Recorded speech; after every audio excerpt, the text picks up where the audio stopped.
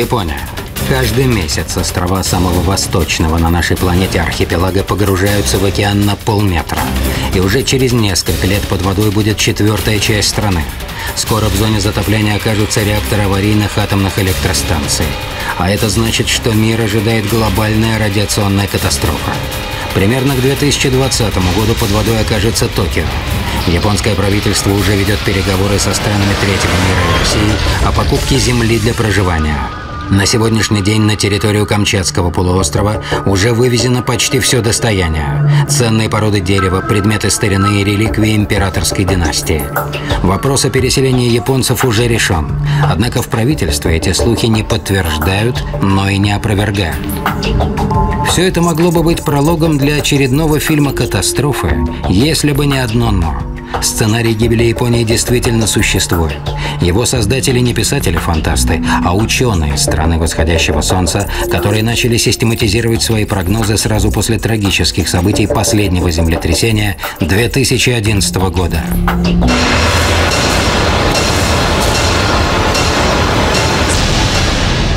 Подземный бункер Центральной сейсмологической станции геофизической службы России. Город Обнинск. 11 марта 2011 года.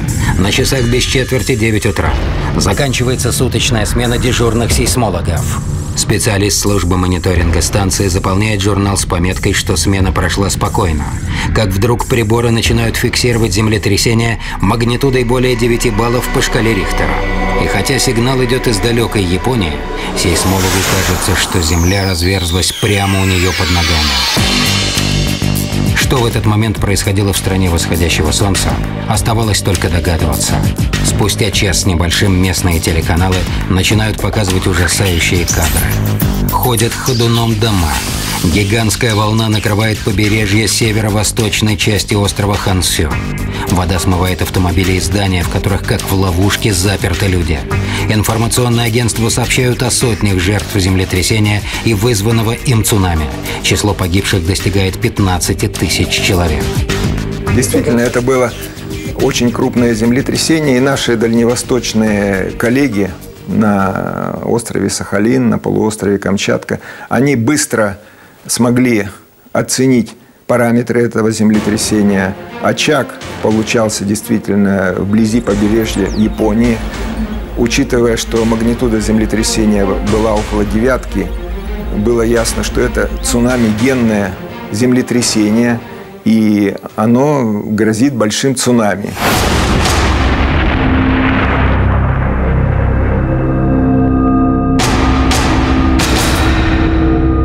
Обнинская сейсмологическая станция с пометкой «Молния» информирует о дальневосточной катастрофе МЧС, Гидрометцентр и администрацию президента и дает тревожный прогноз. Примерно через час волны цунами достигнут Курильских островов.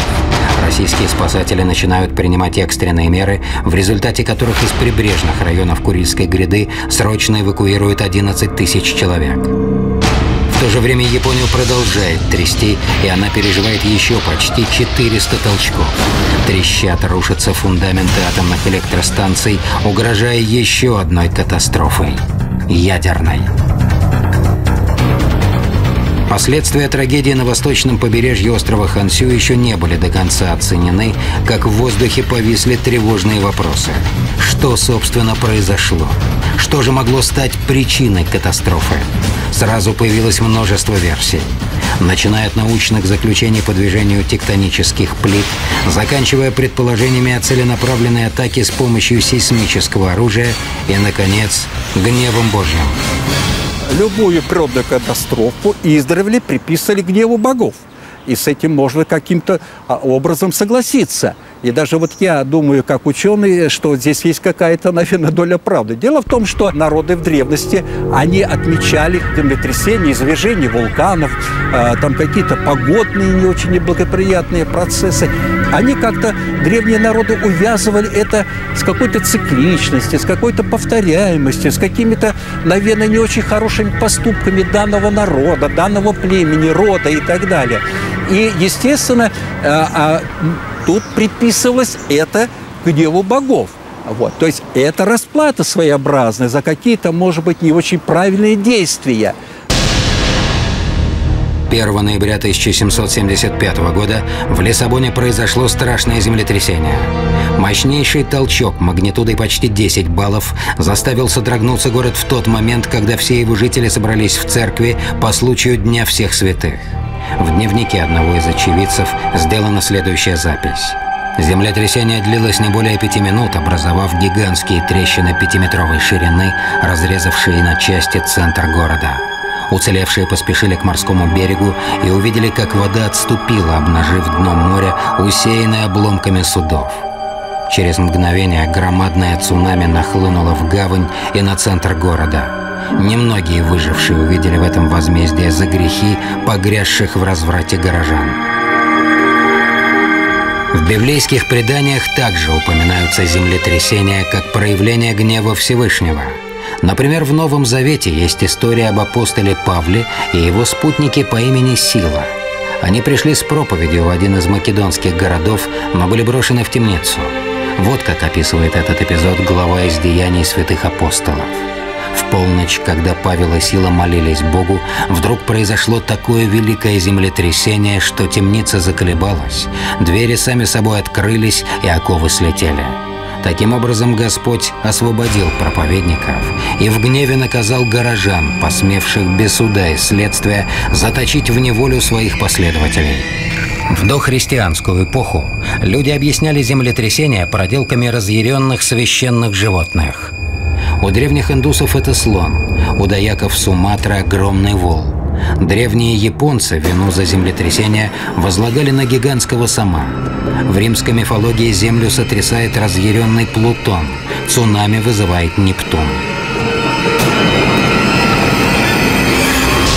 Нет ничего удивительного в том, что в отчаянии от своего бессилия человек поднимает глаза к небу, ищет подсказки у высших сил – не только в доисторические времена, но и сегодня.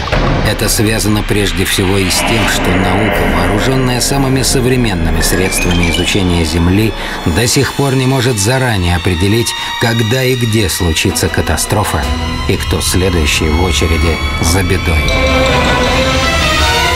Удивительно, но землетрясение в Японии 11 марта 2011 года было предсказано причем за несколько десятилетий до трагедии, в 1973 году.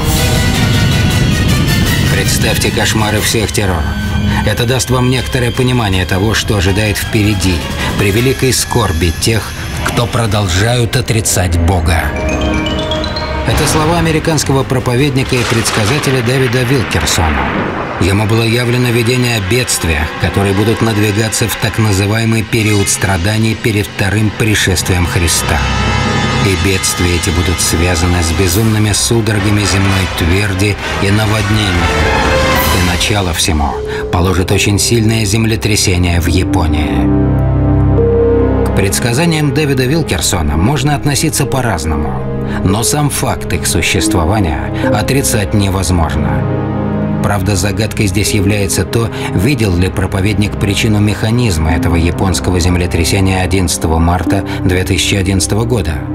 Некоторые исследователи считают, что катастрофа была спровоцирована искусственно.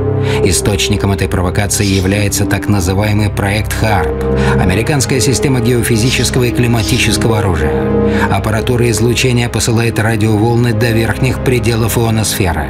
Возникающий в результате эффект нагревания вызывает нарушение электронной плотности, что в свою очередь позволяет сигналам, поступающим со спутников, направлять мощные потоки магнитного поля в места тектонических разломов и приводить их в движение. Не исключены и другие способы искусственно вызывать землетрясения. Работы в направлении создания тектонического оружия, безусловно, очень активно ведутся. Ведутся они, начиная с 70-х годов прошлого столетия. И достигнутые результаты позволяют говорить о том, что созданы средства воздействия, позволяющие инспирировать землетрясения, но и они пока еще недостаточно эффективны. Говорить о том, что создано тектоническое оружие, пока преждевременно. Поводом заговорить о сейсмическом или тектоническом оружии послужило землетрясение на Гаити в 2010 году. Как получилось, что чудовищные разрушения затронули только одну половину острова, где расположена Республика Гаити, и совсем не коснулись другой, на которой лежит Доминиканская республика? Покойный нынче президент Венесуэлы Уго Чавес обвинил тогда в этой катастрофе Соединенные Штаты Америки. Он заявил, что землетрясение на Гаити стало результатом испытаний, проведенных военно-морскими силами США. Полностью отметать версию о том, что это землетрясение было инспирировано, нельзя. Известно, что именно в тот период проводились достаточно активные испытания системы АРФа, что само по себе могло инспирировать, инициировать вот это землетрясение. Нельзя исключать и возможность того, что Соединенные Штаты Америки в интересах э, размещения в перспективе в это, на этом острове своей военно-морской базы могли инспирировать землетрясение за счет взрывов мощных боеприпасов. Ученые не отрицают теоретической возможности рукотворных землетрясений. Причиной их может стать, например, испытание оружия массового уничтожения. Они действительно могут вызвать изменение структуры земной коры. Сразу после Второй мировой войны начали проводиться испытания термоядерного оружия. В основном это были подземные взрывы на небезызвестных полигонах Семипалатинского СССР и Невада в США. Процессе этих испытаний происходили местные землетрясения, которые были спровоцированы вот этими взрывами. Но это был побочный эффект, а не специально созданная катастрофа. Для того, чтобы вызвать землетрясение в нужном месте и в нужное время, необходимо точно рассчитать естественную ритмику колебаний земной коры и потом усилить ее точно дозированным мощным энергетическим воздействием. Например, ядерным взрывом. А это, как считают некоторые ученые, практически невозможно. Нужно понимать основное, что такое сейсмическое оружие. Это возможность создать искусственным образом землетрясение – заданной силы в заданном регионе, в заданной точке и в заданный момент. Это та же задача, что и прогноз землетрясений. Но прогноз землетрясений э, ученые оперируют с данными наблюдений, с теориями и так далее. А здесь э, нужно понимать, что при землетрясениях высвобождается огромная энергия, сравнимая с мощностью всего ядерного потенциала, может быть, э, всех армий мира. Э, и поэтому для того, чтобы вызвать искусственное землетрясение, надо в этот разлом, на котором, допустим, мы хотим вызвать такое землетрясение, закачать откуда-то э, столько энергии, которая будет высвобождаться при таком землетрясении. Это нереально, ни физически, ни технически. Землю, твердую почву под нашими ногами мы привыкли считать чем-то незыблемым, прочным. Поэтому, когда Земля начинает колебаться так, что на ней нельзя устоять, когда на наших глазах рушатся прочные здания, когда трещины разрывают почву, и из глубины ее раздается гул и грохот, человека охватывает ужас. Он теряет голову, не знает, куда бежать, где спасаться от грозящей гибели. Начиная с 2000 года происходит несколько десятков землетрясений в разных точках планеты. Сейсмическая активность Земли то возбуждается, то затихает. Как круги на воде, волны землетрясения расходятся в разные стороны. Установлено, что землетрясение не происходит изолированное. Каждое сильное землетрясение так изменяет напряженное состояние в Земле, что появляются места наиболее опасные снова. И это происходит серией. Поэтому мы можем после японского землетрясения 11 марта 2011 года ожидать сильных землетрясений в разных местах э, земного шара, в том числе и вблизи, скажем, на Курильских островах, и в Китае, и в Америке, и в э, Центральной Азии. И это будет серия продолжаться вот так вот по цепочке, как типа э, домино происходит. В истории цивилизации нашей планеты было около полусотни поистине глобальных землетрясений. Одно из самых разрушительных произошло 5 февраля 1962 года в городе Помпеи. Колоссальная дрожь Земли спровоцировала извержение вулкана Везувий, после чего с лица Земли было стерто три города – Помпей, Геркуланум, Стабии, а также десятки селений – Извержение вулкана, вызванное подземными толчками, способно уничтожить не только города и села, но и целые цивилизации. Речь идет о легендарной Атлантиде. Согласно Платону, 9 тысяч лет назад этот континент в один день опустился на морское дно вместе со своими жителями-атлантами. Многие атлантологи полагают, что извержение вулкана Санторин – следствие землетрясения, сдвинувшего тектонические платформы Земли, на которых, как предполагали, и находилась Атлантида. По мнению ученых, там произошла коллизия. Так в геологии называется столкновение континентальных плит, которое всегда приводит к разлому и смещению земной коры. Нечто похожее произошло и у восточных берегов Японии 11 марта 2011 года.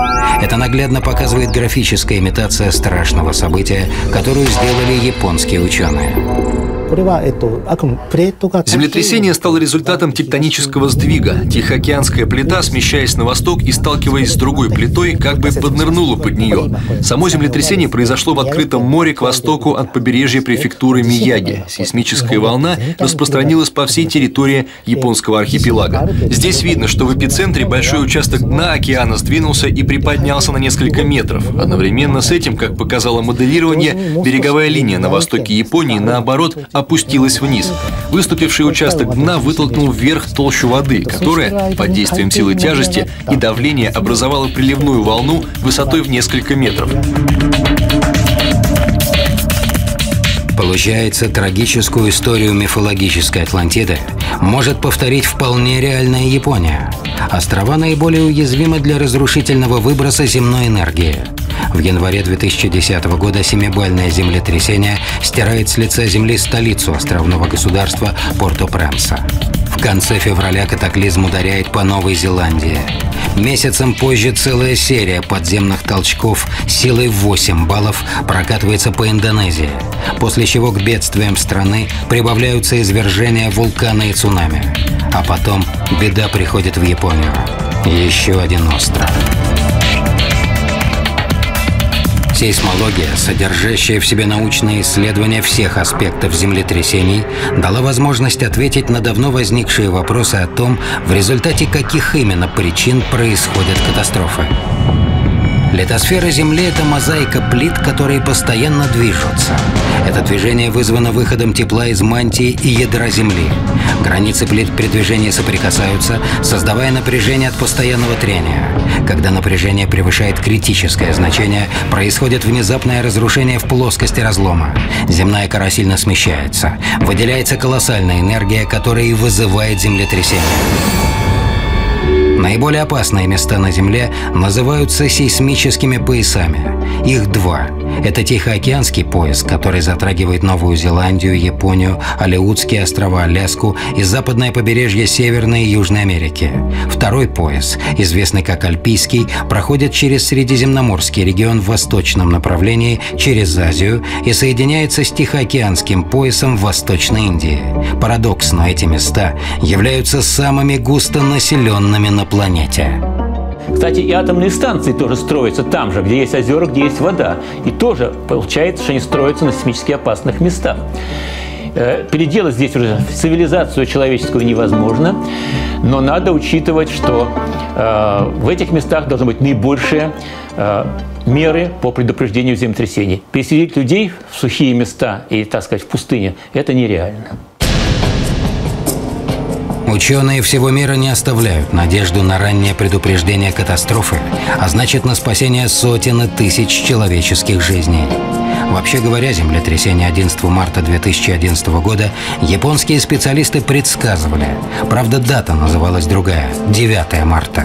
И в этот день действительно в Японии случилось землетрясение. Там вышел некий казус. Вообще говоря, это землетрясение прогнозировалось японскими специалистами.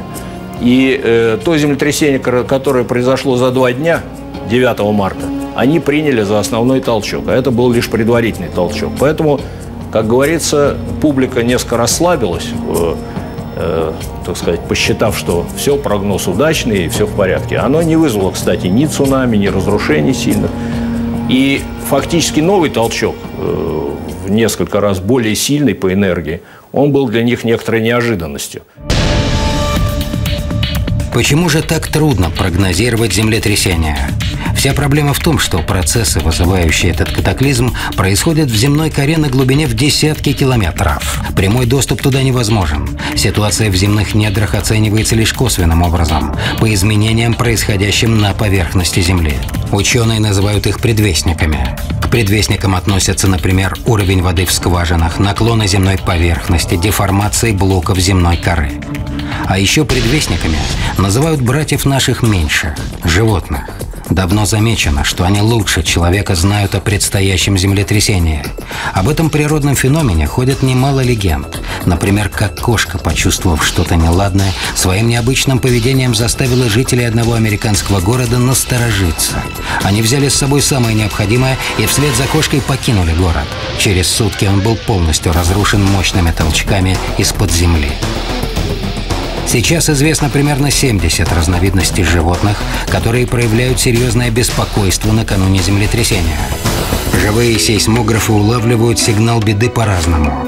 Собаки и кошки чувствуют приближение подземных толчков за два дня. Куры от 1 до 3 дней. Мыши и крысы от 1 до 15 дней. Рыба от нескольких часов до 10 дней. Голуби до одного дня. Однако вряд ли животных можно считать безупречным биолокатором. Ученые не могут полностью положиться на предсказания братьев наших меньших, чтобы с уверенностью прогнозировать природные катаклизмы.